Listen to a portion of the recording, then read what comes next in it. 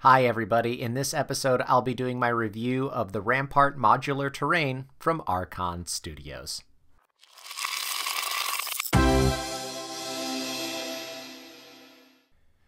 Alright, so let's jump into things. Uh, the first thing that I noticed when I picked all of these up, and I talked about this in my unboxing, is that they're heavy. They're thick. The um, plastic or the resin that they're made from uh, feels really good. Now that I'm starting to clip things out, it should be noted that, um, look, overall, let me say this I like the stuff. I like the modular terrain, but it is not what I would call beginner friendly. As I go through and I clip all of this stuff out, um, there's a lot of flashing that tends to get left. The the pieces themselves are thick, and so the connective bits on the sprue are also pretty thick, and so there's a lot of stuff left over. We're going to speed things up for you here as you watch me clip everything out and adjust the focus a little bit for you it's not bad. And if you take your time, or if you are used to doing a lot of terrain from things like Games Workshop, because let's be honest, that's the comparison everyone's making, uh, then, you know, it's not too bad. But again, it's not what I would call beginner friendly. This takes a little while. Now, I will say you could potentially do some paint on the sprue if you would have liked here, uh, getting that basing done. That's something that I've talked about before.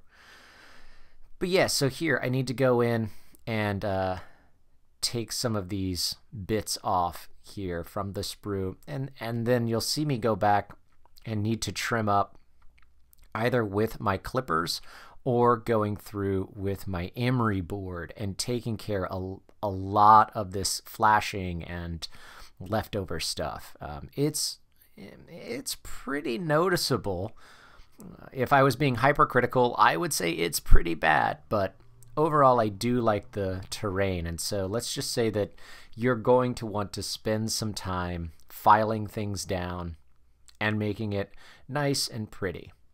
Also, it's terrain, so if you don't get them super flat, they're not going to fit together as well, and they're not going to stand up as well. So that's what I'm doing here with my nice little emery board. These are really cheap, by the way, and so just pick them up. You will absolutely thank yourself later when you're priming and painting.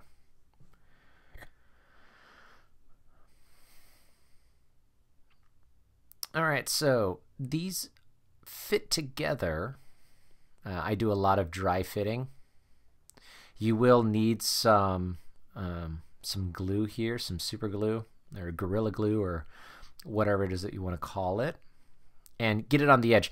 Don't put the glue directly on the tip of the peg because then that just goes into the recess and it doesn't have anything to grab onto. Uh, I add a couple of drops here along the edges. Pretty standard fare if you're used to putting together terrain or any kind of mini, really.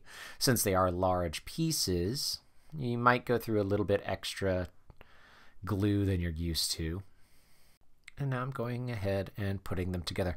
Now I go through and I double check the orientation of the like cathedral windows. There's little triangular type windows to make sure that they're all uh, pointing upwards so it doesn't end up looking like I have a column on upside down. There are blueprints, there are uh, pages that kind of show you how they go together, sort of they aren't as detailed as if you're used to picking up uh, miniatures from Games Workshop or terrain from Game Workshop. Um, it sort of vaguely shows you what they look like. Yeah, see there, I had to actually go through and clip more stuff off. Um, and to be honest, I could almost stop the video here. It's a lot of this lather, rinse, repeat, as it were. These are your basic wall areas. But we've got a handful of other things. Uh, we'll look at what those look like. It's really nice stuff. There's some miniatures, there's some decoration, accoutrement, um, gargoyles and parapets and all kinds of stuff. So let's get one of these little tower things clipped out. The whole thing that Rampart was selling whenever the Kickstarter was going was the fact that these were magnetized and modular, so you could put them together however you wanted. And that's true. But also, there's a lot of these little pegs that you end up using, so it's not all 100% magnetized.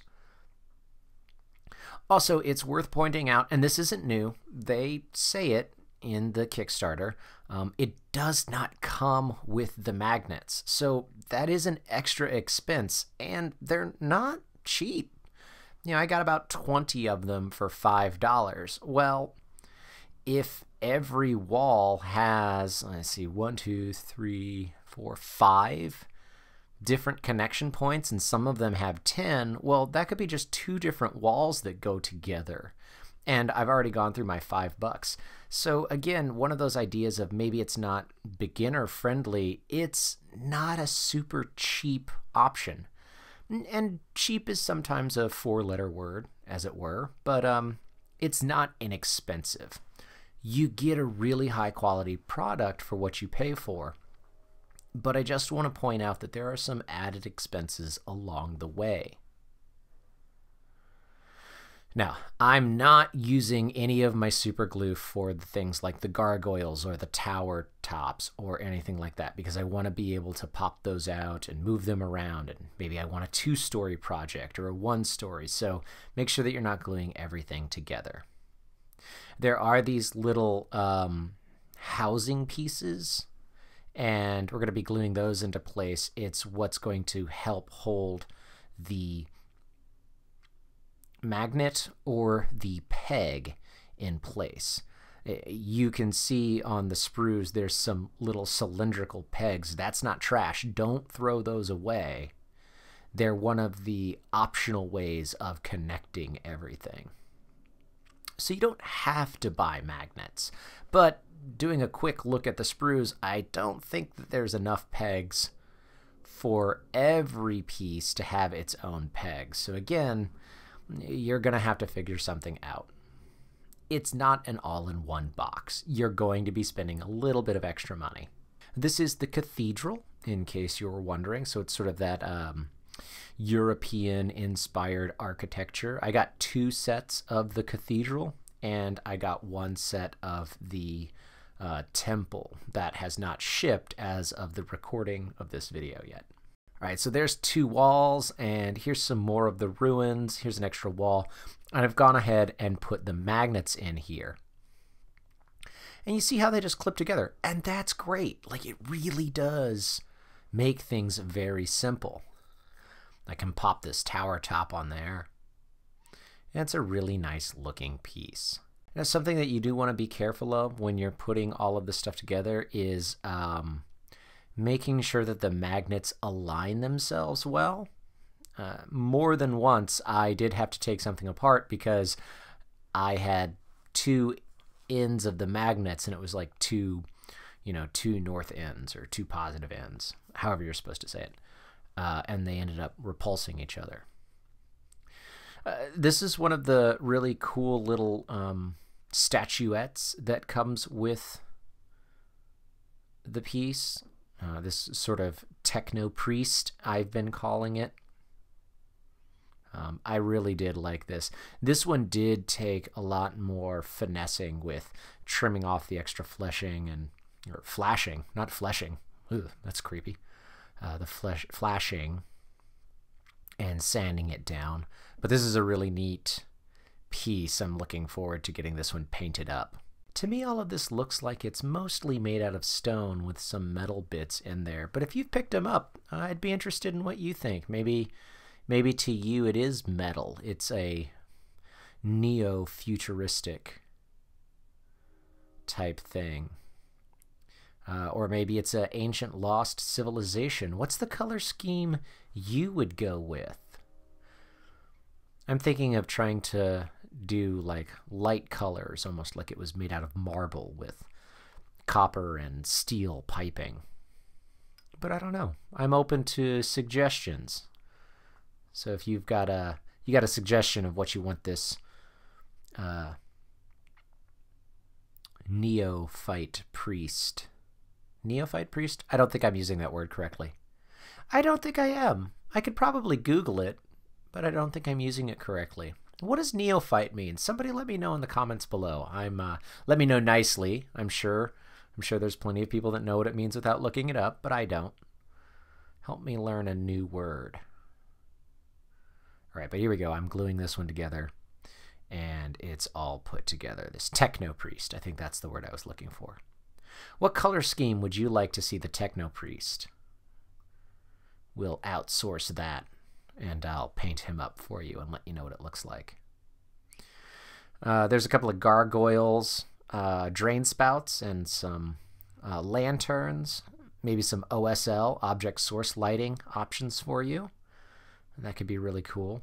You'll see there's a couple of sections there that didn't actually get cut out. I need to let Archon Studio know that uh, I need those replaced. I'll let you know how quickly they respond and how easy it is to get those replacement parts uh, in the future as soon as that happens. Make sure that you're following us on Twitter at R4I Vlog. That's where I'll let you know where that happens. I really like this bit. I like where you can pop in and out the different uh, decorations. That's really cool. Um, and like I said, the material is really strong and thick, so I think it'll stand together. Now, this is one thing that bothers me. It's that little end piece, yeah, that doesn't stand up. It doesn't stand up at all. Now, it's it's it's really frustrating. It has some of the areas where I can connect it with a peg or a uh, magnet um, so that's what I'll have to do. But that one tall, thin piece is not freestanding. Just something to keep in mind. But most of them are. And they line up nicely. It's going to provide some really good cover for my Thousand Sons. Uh, or maybe for a D&D campaign, an old lost temple of Ioun, perhaps. That's what that uh, techno priest makes me think of. They snap together pretty nicely. But yeah, you'll see I tend to try to put them together two magnets at a time so that I know that they're always um, they're always going to connect well. And if you wanted, you really could just place them in there and not try to glue them into place. I've been gluing them into place, but I might not do that as I move forward. I might just put the piece in. Ah, yeah, see, here I've, I've got them. They don't go together. The uh, polarity is wrong. So that's another reason to just use the pegs um, or not glue them into place. Uh, Archon Studio, if you're watching this, hey, thanks for a pretty great product. Uh, I'd be interested if you're going to be selling uh, just a bag of pegs in the future. Now you can see here I'm, I'm having to take this apart because I got the polarity wrong. I'm guessing this is going to be an issue a lot of people have. Or maybe it's just me. Maybe I'm not smart enough to plan ahead. But either way, I did have to fix it. I'm just cleaning up some of the uh, uh, super glue and whatnot that got in there. And I'll own this. This was my mistake, but it was a mistake I was trying to avoid and still ended up happening. But yeah, just pop that off. Flip the magnet around. make sure that it works. And get it all glued back into place. Ultimately, it's not a difficult fix. It's just an annoying fix that I was actively trying to avoid, and it still happened to me. So there you go, the Rampart modular terrain from Archon Studios. Overall, I have to stress this, I love it. It's heavy, it's durable. I think it's going to take paint really well, and I absolutely love the way that it looks. And I really like the magnetization that that's built in. The magnets are going to cost you extra, and the fact that the plastic, the resin, is so heavy means you're going to spend a little bit more time cleaning things up. It's maybe not beginner friendly, but it's a really solid product. And I might end up picking up a couple more of the sets. I think that this looks really great with some of these Thousand Sons waiting to ambush. Uh, I can't wait to use them for some wargaming or even in Pathfinder or Dungeons and Dragons. Really, anytime you need a temple or a cathedral that's in ruins. A big thanks to all of our patrons and especially to Joan. If you want to support our channel, you can head over to our Patreon page and check out the different perks of being a patron. Did you back the set? Uh, have you gotten these already? Are you looking at picking them up? What are your thoughts? Have you already painted them? I'd love to see what some of them look like. You can absolutely tag us on Instagram or Twitter. Let me know what you think of the Rampart stuff in the comments below. So until next time, I'm Ryan, and this is Roll for Initiative. Bye.